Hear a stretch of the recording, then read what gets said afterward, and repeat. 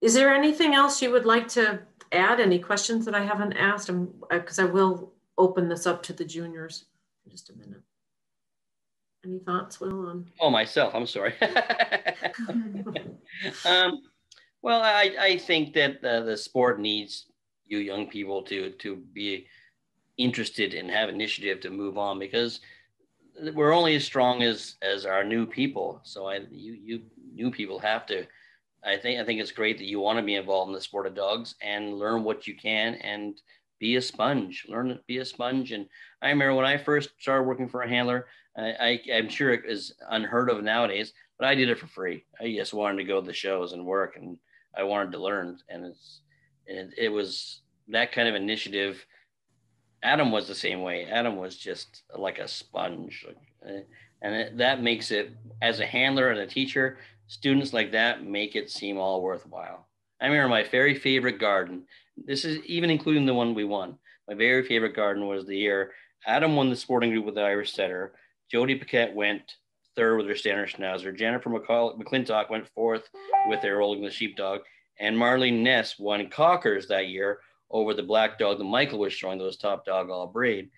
And and by him do I hate to see it by by Marlene winning that variety, it opened the door to, to Adam winning the sporting group. And all those kids worked for me. So I was like in heaven watching that weekend. So it was so much fun watching all these kids just succeed, you know.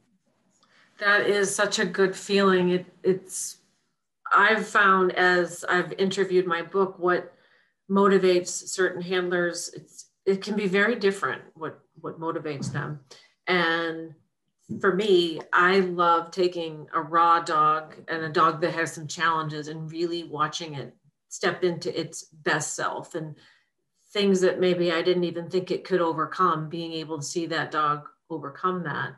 And in many ways you with these these kids i mean you saw them when they were yet raw and young and not developed and you know Wow, what a feeling to see oh, them still fun. I, all, I, I still love following them, following them even to this day. I love watching them, and I, I do follow them. So that's that is great.